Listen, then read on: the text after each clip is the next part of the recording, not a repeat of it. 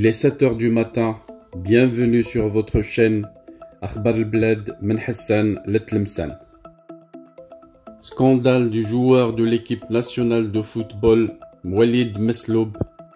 L'équipe nationale d'Algérie au cœur d'une affaire scandaleuse de trafic de cocaïne. Un dossier sensible que nous allons aborder dans quelques instants mais pas avant de vous rappeler de vous abonner à votre chaîne préférée Akhbar al-Bled de Hassan à Tlemcen. Mais surtout n'oubliez pas de cliquer sur la cloche pour vous permettre de recevoir un bip à chaque fois qu'il y a du nouveau sur la chaîne. Vous n'avez qu'à cliquer sur la cloche. Vous recevrez un bip de Google YouTube à chaque fois qu'il y a du nouveau. Le reste de l'acheminement de l'information vers votre téléphone portable c'est Akhbar al-Bled de Hassan Atlemsen qui s'en chargera. Bonjour. Un ancien joueur de l'équipe nationale d'Algérie de football au cœur d'une scandaleuse affaire de blanchiment d'argent en France.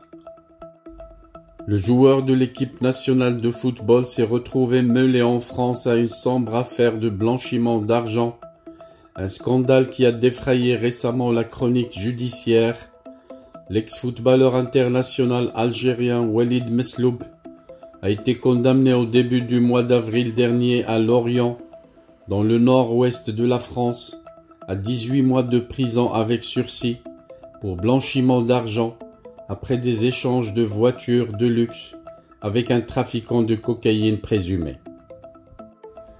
L'ancien joueur du FC Lorient âgé de 36 ans qui compte neuf sélections en équipe d'Algérie, a été reconnu coupable d'avoir facilité l'achat, l'échange, la revente de voitures de luxe, des transactions qui pouvaient atteindre plus de 70 000 euros pièces, pour le compte du nommé Van Than, 38 ans, principal mis en cause.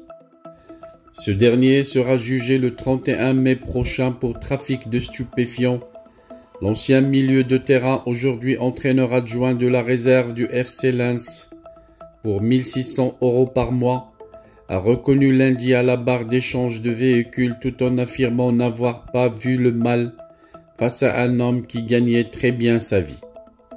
Le procureur a dit ne pas pouvoir prouver que l'ancien joueur avait connaissance du trafic.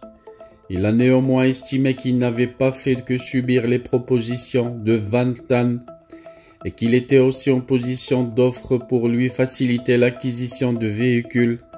Assisté d'un comptable, Mesloub aurait dû s'inquiéter du côté anormal des services qui lui étaient demandés, selon le procureur, qui évalue à 508 000 euros les sommes blanchies dans cette affaire.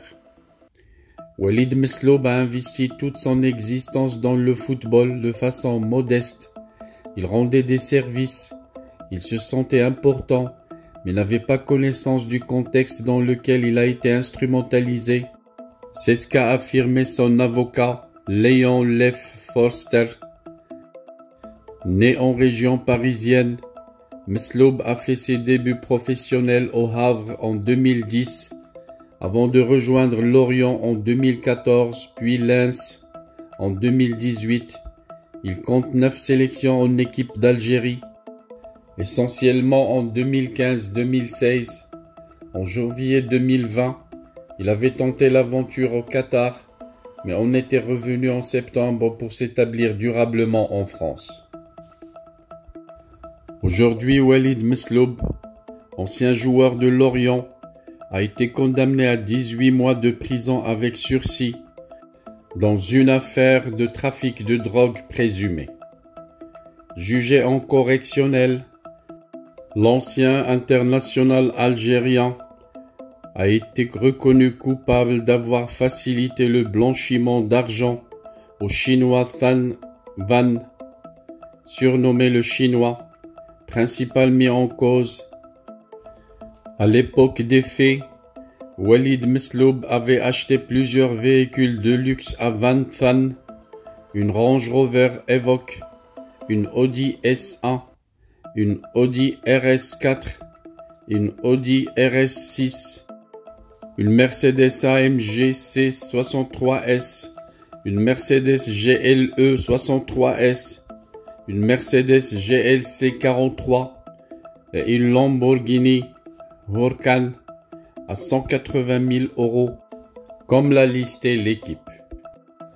Le joueur a expliqué lors de son audition en avril 2021 s'être fait duper par son ami sur l'achat de l'un des véhicules, sauf que les enquêteurs ont retrouvé plusieurs autres véhicules à son nom et utilisés par le Chinois.